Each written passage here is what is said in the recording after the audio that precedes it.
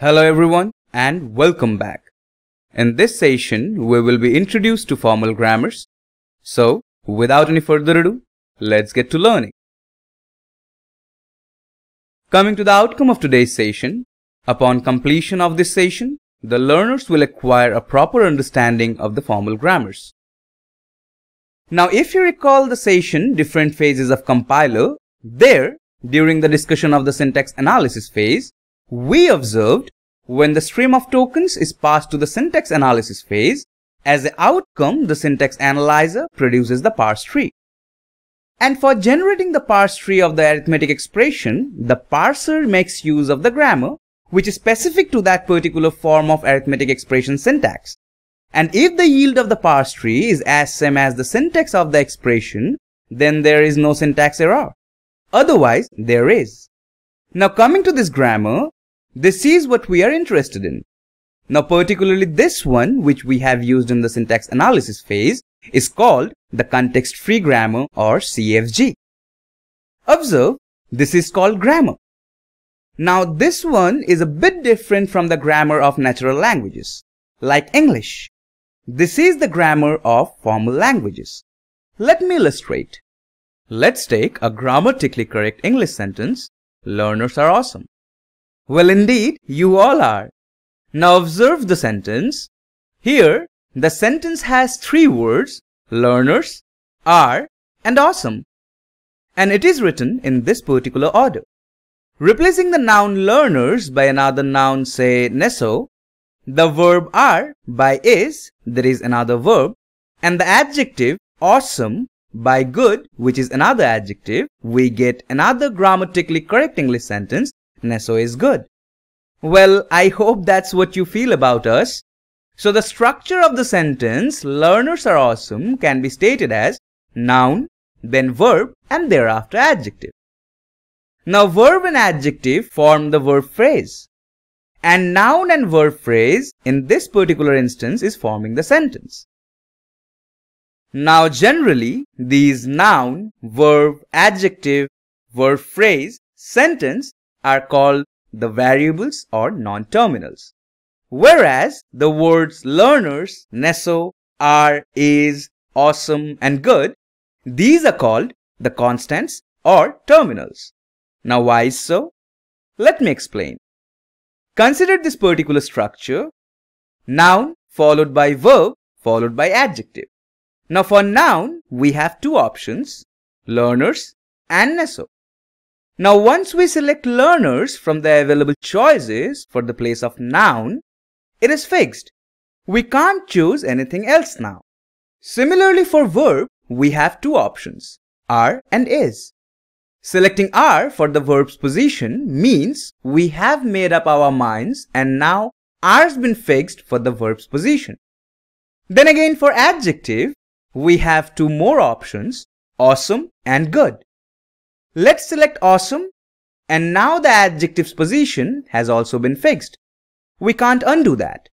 Basically, when the structure had these, that is the variables or non-terminals, we had options to choose from. That's why these are termed as variables. Contrarily, once we generate the sentence learners are awesome, we are actually fixing the places of these. Basically, we are terminating the generation process. And that's why these are called constants or terminals. So since these are terminating the process of generation, that's why these are called terminals or constants. And since these give us the options to choose from, and also these don't terminate the generation process, that's why these are being called non-terminals or variables because the outcome may vary based on what we choose. Now coming back to our discussion of grammars, we have the set of non-terminals in one hand and the set of terminals on the other hand. Now let's recall the generation process for this specific instance. Sentence can be rewritten as noun followed by verb phrase. Then again the verb phrase can be rewritten as verb followed by adjective now noun can be rewritten as either learners or neso. Similarly, verb can be rewritten as either are or is. Finally, adjective here can be rewritten as either awesome or good.